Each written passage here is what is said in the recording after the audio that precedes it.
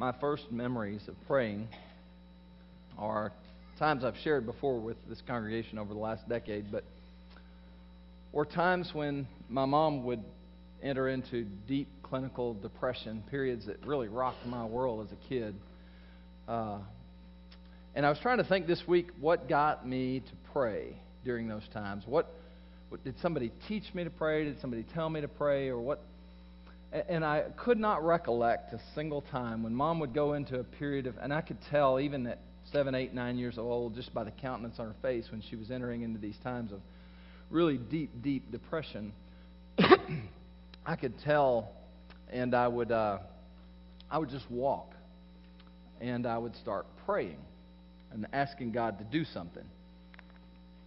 And um, those were really, really honest prayers from a little boy. Uh, I had no idea who God was. I really didn't. Um, but God knew who I was, and He knew where I was, and He, I am convinced, uh, tuned into my to my cries. But it was my it was my need, it was my concerns, my burdens that drove me to pray. That and I, I again I, I really tried to think. Surely somebody had to teach me or tell me to pray and it might be an overstatement, but I want to say it this way is that it was the only natural response that I knew of. In response to something that was overwhelmingly big for me, the only thing I knew, the most natural thing in the world to me as a little boy, I wasn't raised in a Christian home, folks. I, you know, I just wasn't. I didn't know. But something in me cried out to pray. Don't you think it was the sovereign love of a Heavenly Father whispering in my ear? Don't you, don't you think that He was the precipitant of that? That in the mix of pain and fear and sorrow and sadness and wanting things to be different, that God took that moment in my life and He met me there and He whispered, Pray. He didn't say, now, Casey, I need you to do X, Y, and Z and then pray, or Casey, follow this pattern. He just said, Come and pray. And in, in my little heart, my little mind, my very, very limited, almost non existent knowledge or understanding of God, I cried out to Him. Things like, Help my mom. Things like, God, don't let her be in the hospital long. God, if anybody can do anything, you can. Because no one else seems to be able to help. I don't know how much anyone in this room prays. That's really not my concern. And I certainly don't know what motivates you or doesn't motivate you to pray or not to pray. And I don't even know what you think of when you hear the word prayer. Well, there would be a lot of answers to that question if we had time. If I could just read the word bubbles above your heads. I said that was my spiritual gift at one time. I was kidding. But but we would see all kinds of emotional responses, of intellectual responses, of theological responses. And they would be very, very varied, diverse. There would be a lot of different ones. I, I, don't know if you're excited about a series on prayer or if you're dreading it because you see that as a month long series of guilt inducement. Stirs up a lot of stuff for a lot of people when you say pray. I know that. I don't know all the other stuff, but I do know that when we start talking about praying, it stirs stuff with people. From indifference to passion to fear to guilt to all kinds of emotional and intellectual responses. Some of you have read multiple, multiple books on prayer and have theories of prayer and, and are deeply engaged in the practices of prayer, and some of you don't even think about it.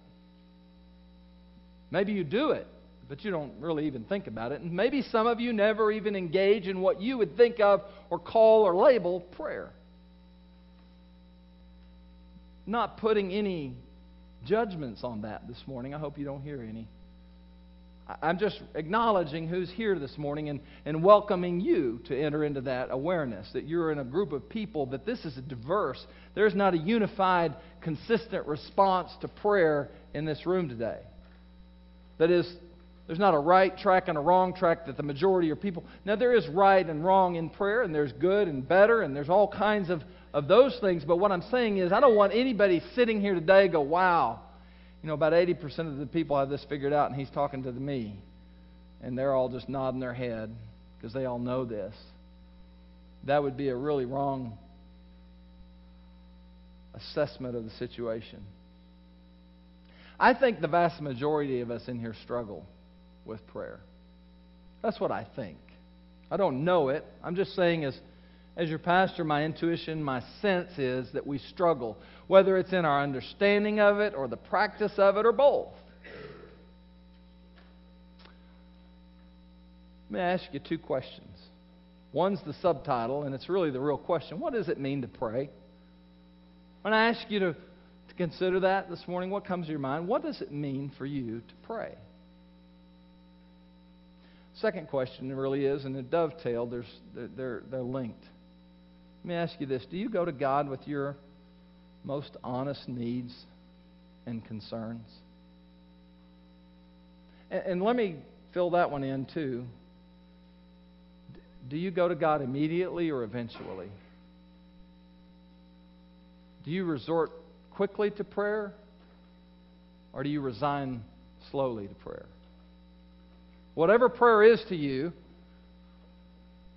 how do you respond to your needs and concerns in regards to prayer that that come up in your life. I want you to start thinking now about your most pressing needs and concerns, okay? Don't worry about it whether it distracts you. We're just going to trust that God would kind of bring those things to the surface of your mind as we walk through this message this morning. Going to look at uh, an interesting passage of Scripture. I, I think a lot of people are uncomfortable with this. Now, when I say uncomfortable, I don't mean that we disagree with the content.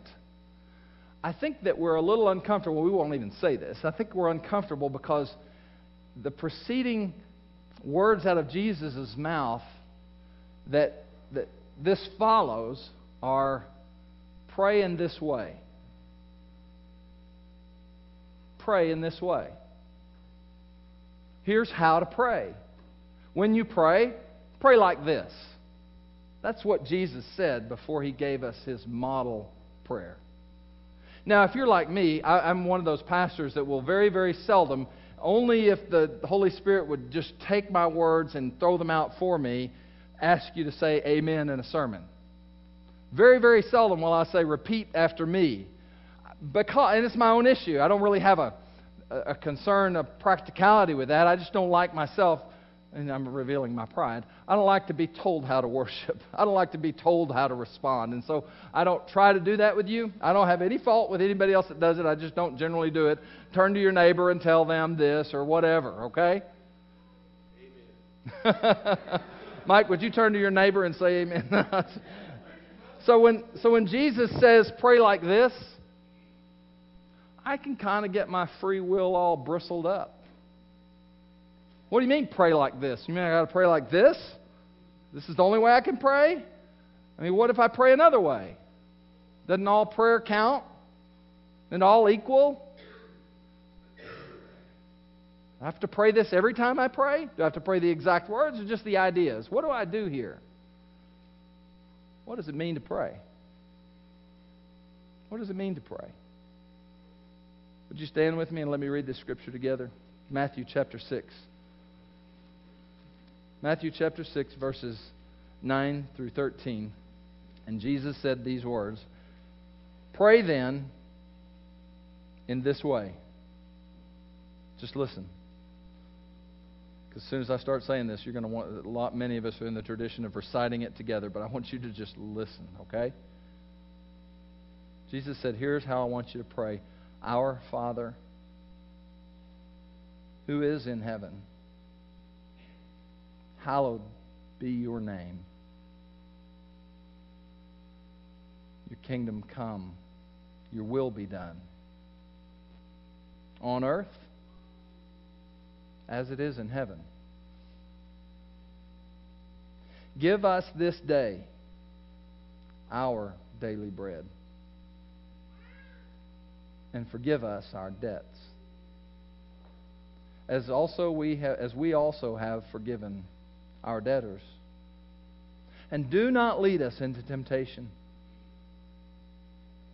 but deliver us from evil. For yours is the kingdom and the power and the glory forever. Amen. Father, my one request is that you would use my clumsy words, my oftentimes inadequate preparation, but take my willing heart and mouth and your infallible, all powerful word and teach us to really pray. In Jesus' name, amen. Man, this is going to be overly simplistic. I know that. Let me say it again because some of you are sitting down and didn't hear me. What I'm going to tell you this morning is overly simplistic. I'm not going to try to dazzle you with deep insights or word studies, but I am going to ask you to grapple with the obvious. And I want you to grapple and wrestle with the obvious today. If you don't do that, if you're not willing, if you're above that, I'm using guilt now. If you've got pride issues there, you'll get out of this exactly what you think, and that is nothing. You're going to have to be willing to come with me in a journey of going, man, I really don't think I know very well how to pray. And I think Jesus knows that enough to say, let me show you what prayer is. Just let me show you what prayer is. Now, I, I am, I am uh, really good at forgetting. And I'm also an optimist, and that's the way an optimist would say that. I'm really, really good at forgetting. So I need things in short bursts and concise statements. It's why I try to preach a one point sermon. You thought that was for you. That's for me. That's so I can remember what the heck am I preaching about halfway through this. If I got three points, I'm never going to get there. One point. Okay? In the verses, let me, let me just do this. In the verses that, that are right before what we just read, the Lord's Prayer, the model prayer, in the verses right before that, Jesus uh, teaches the folks what prayer is not to be characterized by. Okay, so just briefly, let me tell you two things that prayer is not characterized, should not be about. He says prayer is not to be done for the approval or respect of others. It's really done for the audience of one. It's not so others will applaud you. It's not so others will be impressed by your words. It's not for any other reason but, but to have the direct, undivided attention of God, and, and that's vice versa. It's not done for the approval. That's a big deal. Do you know how many people, when they pray, including myself, struggle with the awareness that I'm praying and other people are listening, and I can almost put more emphasis or thought to that than the fact that God is listening. And Jesus says, don't do that. Focus in on who your audience is. And the second thing is, his prayer is not for the purpose of informing God or making him aware of a need that you have, nor is it about convincing him to do good. So that second one is, is really kind of two, but it's all in one statement. It's not about informing God or convincing God. Okay? To do good. So the model prayer then begins with the singular statement of Our Father who is in heaven. It starts with a statement and it ends with a statement here today. Two declarations of truth. Okay? That's how the model prayer begins. Our Father you are in heaven, our Father in the heavens. A recognition statement, right? And it ends with one of those two, right? It says at the very end, For yours is the kingdom and the power and the glory forever. That's Matthew's version. Luke's version doesn't have that. But it's certainly there. We can certainly embrace it. Certainly a great bookends. Your God in the heavens, of the heavens, in heaven. And it's your kingdom, it's your power, it's your glory forever. Amen. So it has a statement to begin, has a statement to be to end. And that statement to begin with is about focusing on the one that we're coming face to face with. It's an incredibly significant part of learning to pray, really is. To stop and think about to whom you are praying, to consider your real audience. Jesus says you've wasted your breath and your time, basically, if your audience are the people who are listening to you pray. Have you ever been in the presence of somebody who's really praying to you or for your benefit? Their prayer is, is really a message to you an edification, a question, but they're praying clearly. They're praying clearly to the people around them. It can be something anybody in this room would slip into, and myself included, because we're not supposed to be unaware that we're in a group, right? We're not, we're not supposed to be unaware that other people are listening.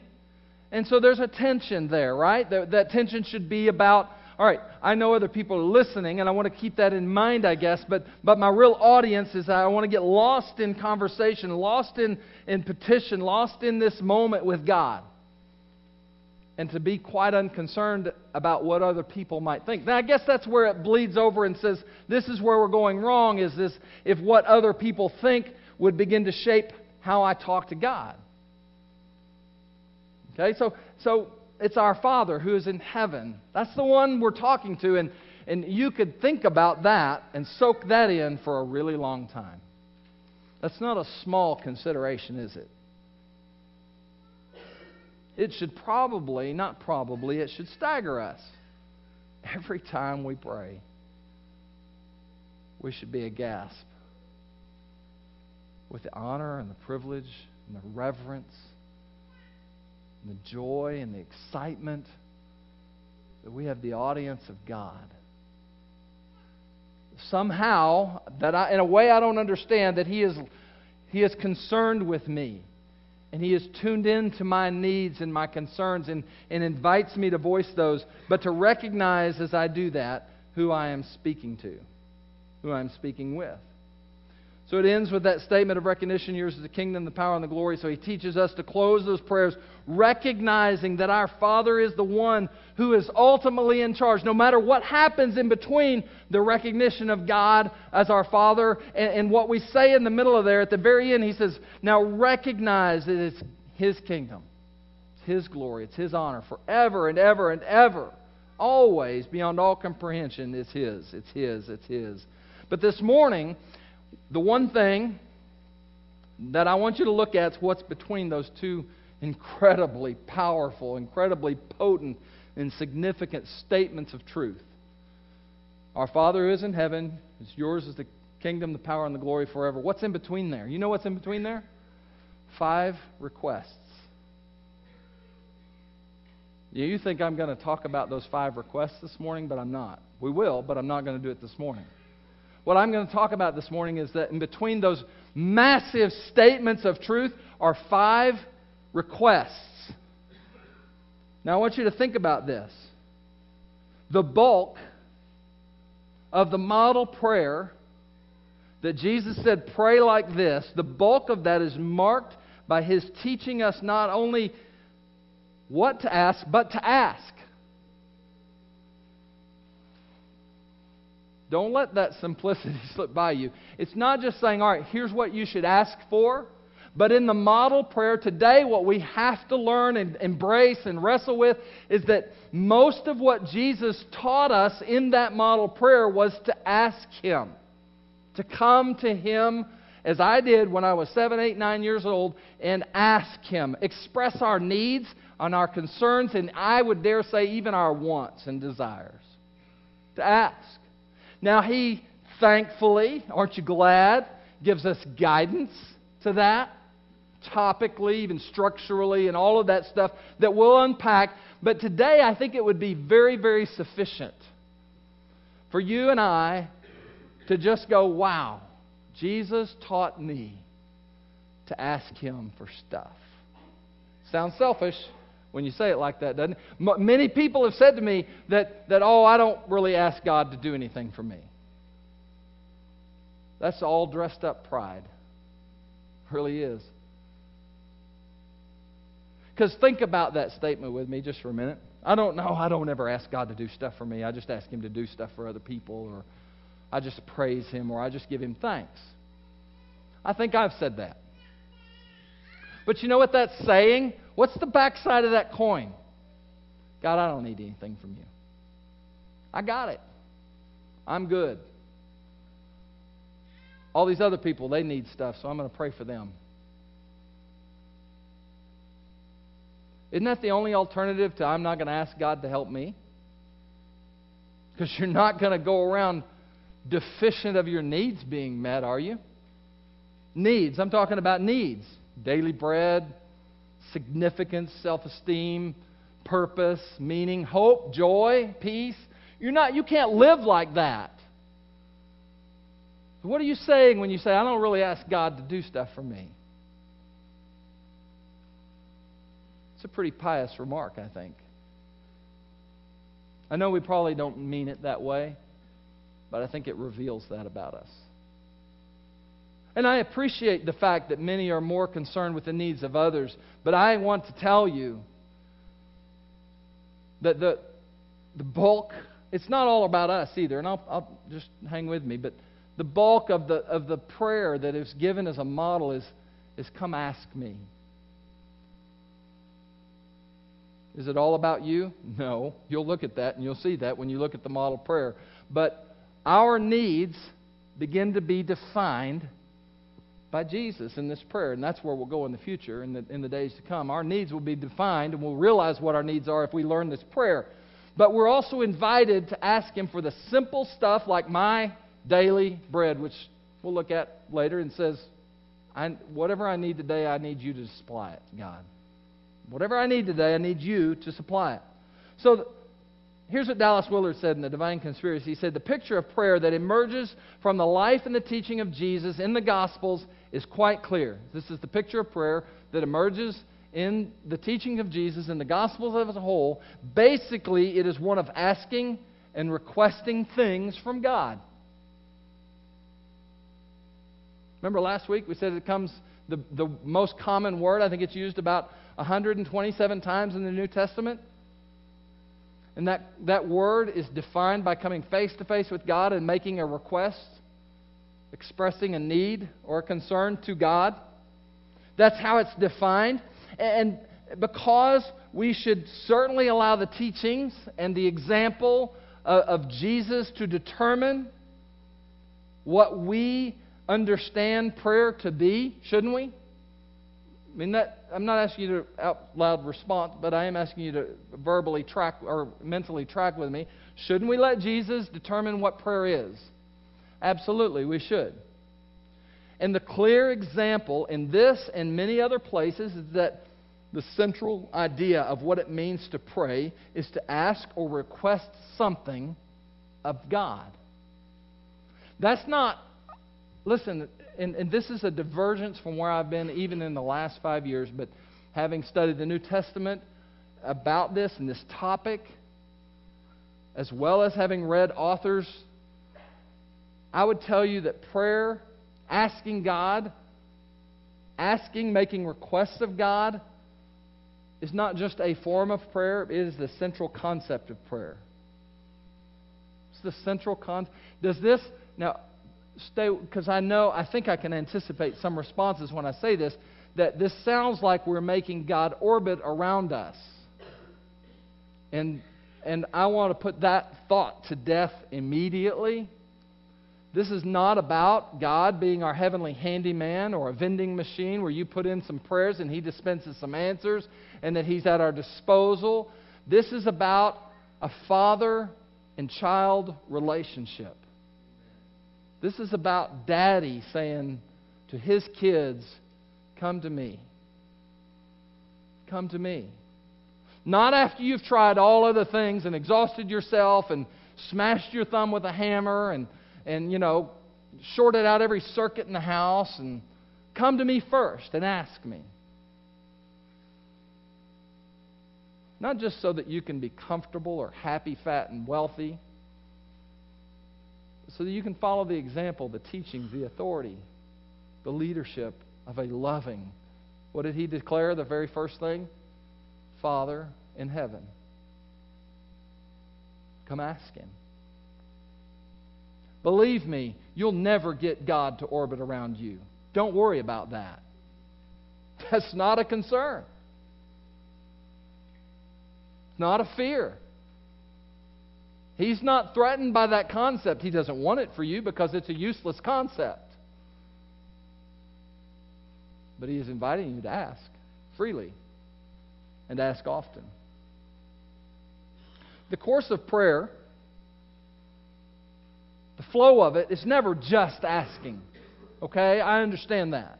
It's never just saying, God, this is what I need. Here's all my needs. And you dump them at Him and say, I'll see you later. Please fix my life and walk on. That would be a mistaken understanding, too, of what prayer is. That's why I go back to the very first example that I gave you. And when I didn't know where else to turn, what else to do, when I came up against a problem that was much larger and I was much uh, very aware was much larger than my ability, that I had no ability to fix it, that as a seven, eight, nine year old kid, the only thing I knew to do was to pray about it. To ask God to intervene, certainly on my behalf. But was he unwilling to do that because it would benefit me? No. Now, listen, I'll tell you something. My mom never recovered fully from clinical depression for a lot of reasons. But I began a journey with God through that that changed the course of my life. I'm not sure I would have picked that course. Had God said, hey, here's how we can get here if you choose this, I probably wouldn't, in my limited wisdom and weakness and fear, have chosen that course of having a mother struggle with that all of her life. But I'm going to tell you something, it taught me a lot. Things that I value today more than I could put words to. Things about prayer that I might have never learned another way. And about who God is when we're desperate and needy. And I'm going to let you in on a secret about everybody in this room. We're desperate. And we're needy. The problems that you face that I face only reveal that. They don't make us desperate. Please hear me say that again. Your problems in marriage, in money, in health, in purpose, they don't define your need, they reveal it. They make you aware of your dependence. Just as my mother's depression made me aware there is only one person, one being, that could possibly deal with this. I think it's behind the concept of Jesus said, unless you come as a little child, you'll never be converted. Don't overthink this. Trust a lot. Trust simplistic, simplistically. So, it's, let, me, let me say something that's a little bit more academic, but I want to make this distinction. There are teachings that thanksgiving and praise, confession, are all different modes of prayer. That conversation itself with God is nothing more than another mode or venue of prayer. And I, I, don't take great exception with that, but I think that there's a value today in distinguishing those things from prayer. And I say that because the word prayer, the one we're admonished to embrace most frequently, is not defined by those other words. I'm not placing it above praising God. I'm not placing requests above worship in prayer or giving thanks in prayer or, or, or giving thanks or, or, or confessing sin. I'm simply saying those are all given their own unique words. Thanksgiving is what? Thanksgiving. Confession is called what? Confession. Praise. What's the word for that? Praise. Asking. The word most often used and described is prayer. Now, so that no one walks out of here and says, We're never supposed to praise, or I didn't say that. It's on the internet, and you can go back and listen, that I didn't say that. And Dallas Willard talks about this in, in perfect detail that there will be very little prayer where there is not a great deal of praise. Wherever there is a great deal of praise, there will be quite often the natural outflow of prayer, of asking and petitioning God. The more you become aware of who God is and His nature and His glory and His majesty, whether it's a sunset or a meditative look at the Psalms, the more you're going to say, You are the answer to my needs. I am given life, I exist for you. You make me what I am. I have no other but you. Quite naturally, we would think it very reasonable to go to that one with any need that we are given, as Jesus clearly, clearly taught. So, in, in, in Paul's famous call to, to find peace in Philippians 4, be anxious by, about nothing, but in everything, listen to what he says. Don't be anxious about anything, but in every situation, by prayer and supplication, with thanksgiving. He just told us to do three different things. Let your requests be made known to God. When you are anxious, let your requests be made known to God through prayer, supplication, and thanksgiving. But don't dare hesitate to let your request be made known to God. Now, it's hard today because I choose this single point. I back myself in a corner. And if you come hear this today and walk out of the sermon series, you will get a very misconstrued notion of what I think prayer is in terms of what the New Testament teaches. So there's my hook for you to keep coming back. Okay? You need to I just need you to grapple with this. So it's about requesting. It's about asking. I didn't say it's just about asking stuff for us. You will see in the model prayer it's not. It's clearly not. Although every request in the model prayer has great and magnificent and glorious benefit for us because anything of God would, would benefit us because He's a good, good Father in the heavens. And it's His kingdom, and it's His glory, and it's His power forever and ever. And He said, Come to me and ask. Bill Hull gives a great quote about the nature of prayer being a request and how important it is. He says, Rearrange your life around the practice of Jesus regarding prayer. Look at his life filled with the press of the crowd, the hatred of religious leaders, not his hatred for them, but their hatred for him, and the dullness of his disciples. We relate there quickly and easily. How did he handle it? How did he handle it? He prayed. He prayed alone, and he prayed at special times of pressure and decisions. Please don't hear me say anything that I'm not saying about Jesus, but when Jesus sensed in his full humanity need, when he sensed it, need is not sin. But when he sensed the depletion of his physical body or his spiritual union with God, what did he do? He went and prayed. I'm sure he thanked the Father. I know he did. I know that he praised the Father. I know he did those things.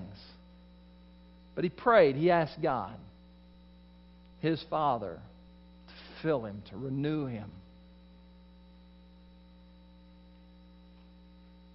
I don't want anyone here to think for a second that giving thanks to God is less, that praising God is less. It's not. It's just, just different. I think it's unique. And I think it's important because I think we can get tied up in, in, the, in the lie that, that it's more important to praise God, that it's more important to thank God, that it's more important to confess sin than to actually say, God, I'm needy and I'm broken and I don't have anywhere to go because I'm a nine year old boy with problems too big for me. Can you, Daddy, help me? That's not more important than thanksgiving, but it's as important. Because you're made in His image. And He loved you enough to die for you on a cross. Not to make you God, but because He is God. And you're His child. What parent in here would say, hey, don't ask me about any of your problems to their child? Don't come to me if you figure it out on your own. What sane parent would, would build a wall that would prevent their children from coming to them with their neediness, their, even their concerns, or even their wants? What parent would say, I don't want you to ever ask me for something you want? It's a good distinction between inviting that kind of conversation and approach and, and inviting a child to be spoiled. Don't, don't get those confused. I understand that. God can say no to you really well. I thought many would say amen there.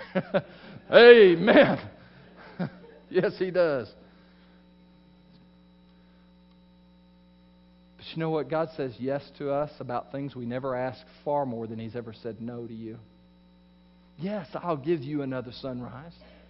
Yes, you'll get to laugh at that joke. Yes, you get to love.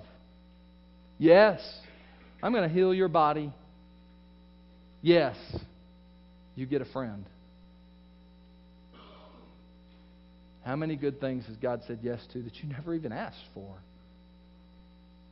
He loves to say yes. Kelly reminded me not long ago how important it is as a dad, as a mom, to find every reason in the world to say yes.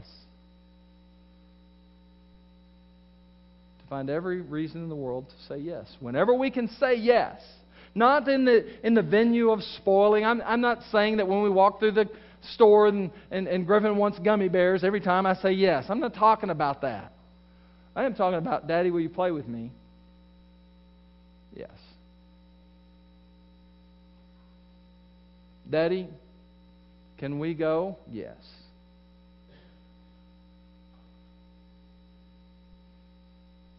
I think that harkens of the Father who said yes to you and to me far more than we've ever asked him to. So here's what I want you to do. We'll close with this. I want you to think of a need that somebody else has that touches your life. That is, you're concerned about it that it sits upon your life with some significance, that there's an emotional response to it, a burden, a, a, sense of compassion or identity that's shared in that. Okay? Think of one thing. It didn't take you long, did it? And I want you to think of one need in your life. Maybe no one knows this need, but it matters to you greatly. I don't want you to evaluate whether it should matter or it shouldn't matter, okay? You can trust God to figure that one out. I just want you to go, what's one need?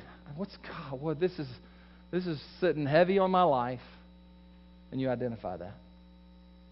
So here's what we're going to do. We're going to pray together as our growing and going challenge today. We're just going to spend a couple minutes in silent prayer. And I'm going to bookend those prayers for us.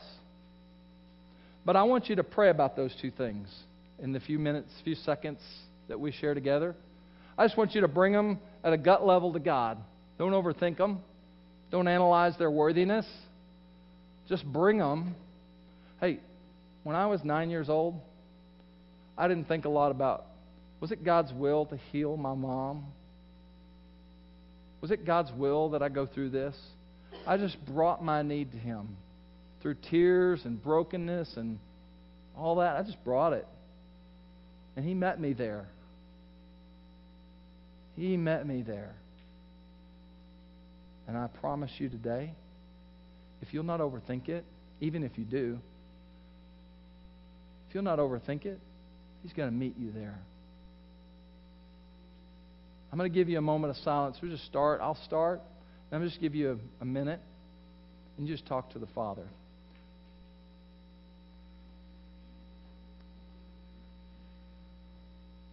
Daddy, you are the one that rules and reigns in the heavens. And you've stepped into our world. You've invited us to look at you face to face. And we come to you right now, not out of religious obligation or duty, or somehow thinking that we're going to convince you to do good. We come to you because we are broken. We're hurting. On our best days, we're desperately needy. And I want to thank you, God, I, I mean this sincerely. I want to thank you for the pain, the trials, and the hardships that make us aware of how needy we are. So, Father, I've asked this precious group of people to think of two things that they could talk to you about. As they do that, would you hug them? and you whisper into their ear, Thank you for talking to me and bringing this to me and trusting me. You embrace them. God, help them to catch your gaze of affirmation and love and delight. For even when you reprove us, you delight because you're our daddy. So, God, we bring those things to you right now.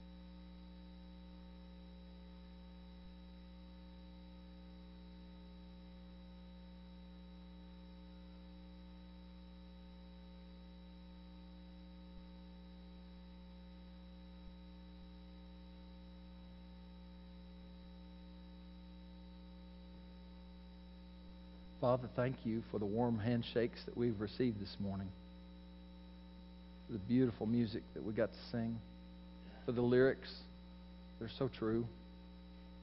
Thank you for the coffee, the sweet taste of those refreshments. Thank you for the power and the significance, the depth and the authority of your word. Thank you that the Holy Spirit is here with us and in us. Thank you for our freedom. And thank you for looking in our eyes and asking us to ask you. Father, my prayer for all of us this morning is that you would really teach us to pray anew. We love you. We stagger around and we stumble but we're learning. we're really learning to love you. And I want to thank you for the enabling, powerful grace that allows us to do that. That you just shower on us. Thank you. Teach us, God, to pray. Really teach us to pray. May we be different than we've ever been before as a, as a church family, but as individuals. Teach us to pray, God, like we've never prayed before. And meet us in those moments. I am praying and asking you to show up with absolute clarity. When heads bow and tears fall, or smiles etched across our faces, we ask you for one more thing knowing that you're good enough, that you're wise enough, that you're strong enough and powerful enough to determine what we need and what we don't need. That your no's are as valuable as your yeses, and we trust you with all of that, and I'm so glad we can rest in that. There's no way, God, I could figure all that out. I would never even ask you if I thought I had to figure out the worthiness of each request. I would never. I would be terrified. So thank you, Jesus, for your intercession there. We love you. We're broken and messed up, God, but we love you. Thank you. Thank you for loving us perfectly. Jesus, we only know the Father by you. It's in your name, amen.